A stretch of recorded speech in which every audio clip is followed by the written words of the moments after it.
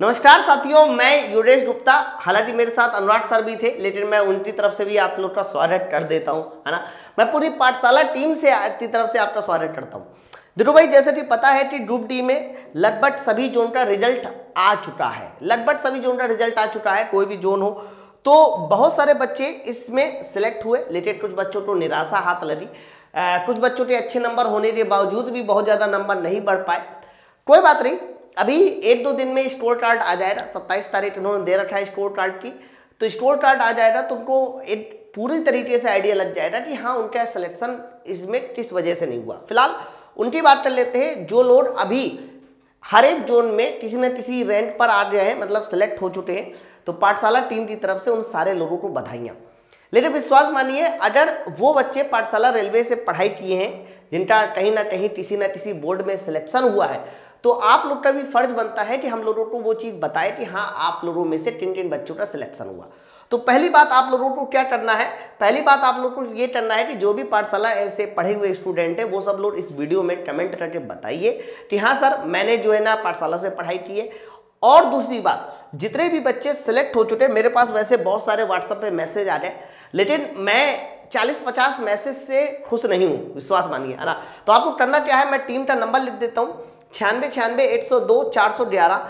आप लोगों में से जितने भी बच्चों ने पाठशाला टीम की तरफ़ से पढ़ाई की है, या फिर आपने एप्लीकेशन से पढ़ाई की है, सुपर मोट लगाए हैं या कड़ी मैंने सुपर मोट पढ़ाया था, उसके अलावा साइंस का हथौड़ा बैच लगाया है, या फिर आप कह सकते हो साइंस का अभी ठेला खत्म हुआ लगाया मैथ का सर का अनुवाद सर की क्लास लिए या फिर रीजनिंग की सीटी क्लास लिए तो आप लोगों में से जिनका जिनका रिज़ल्ट हुआ है तो वो अपने रिज़ल्ट का स्क्रीनशॉट इस नंबर पे शेयर करें ताकि हम लोग ना ए, समझ सके कि हाँ हमारी क्लास से कितने स्टूडेंटों ने सिलेक्शन पाया है।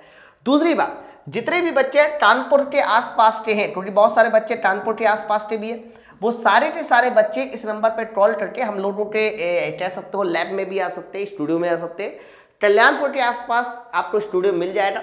आइए उसके बाद हम लोग देखेंगे कि हाँ कितने ऐसे बच्चे हैं जिन्होंने बढ़िया सी रेंट बनाई है, कितने अच्छे ऐसे बच्चे हैं जो पाठशाला टीम की तरफ़ से सेलेक्ट हुए हैं। मतलब हमें अब वो सारे के सारे सेलेक्ट स्टूडेंटों में से अपने बच्चे छाटने हैं कि हाँ जिन्होंने पाठशाला टीम की तरफ़ से पढ़ाई की है और ताकि हम उनको लेकर एक छोटा सा फ़ंक्शन वगैरह कर सकें और ये बता सके कि सब पाठशाला टीम में वो ताकत है जो कहीं ना कहीं किसी ना किसी एग्ज़ाम में बच्चों का सिलेक्शन कराती है।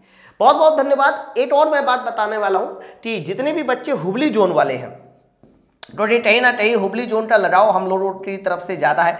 मैंने याद है, ग्यारह अक्टूबर की वो दिन जब मैंने रात में भी क्लास ली थी, ग्यारह अक्टूबर को भी। है ना तो हुबली जोन वाले स्पेशली इसमें इनको बताए फ़ोन करके कि हाँ सर मैम मेरा हो चुका है। या फिर आप मेरे व्हाट्सअप नंबर पे फ़ोन मैसेज कर सकते हैं। इस वीडियो के कमेंट बॉक्स में कमेंट कर सकते हैं। कानपुर के आसपास वाले जितने भी बच्चे हैं, वो ज़रूर आप आइए। और उसके साथ साथ जितने भी बच्चे हुए, वो कहीं के भी हो, उनको हम लोग की तरफ़ से बहुत बहुत बहुत सारी बधाइयाँ। और विश्वास मानिए, बस आपका पीटी बचा हुआ है। जल्दी से पीटी की तैयारी करते रहिए, थोड़ा सा मेहनत अच्छे से कीजिए, और इसके बाद ना, इसके बाद आपकी ज़िंदगी अलग होगी, जब ये नौकरी आपके पास होगी।